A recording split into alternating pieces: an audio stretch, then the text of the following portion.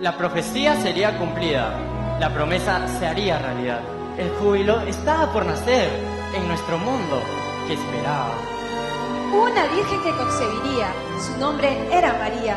Ella dio una larga travesía a la ciudad ancestral de su prometido, su nombre era José. Fueron forzados a refugiarse en un simple establo cuando llegaron a una aldea populosa llamada Belén. Y allí el Hijo de Dios nació. Su nombre era Jesús.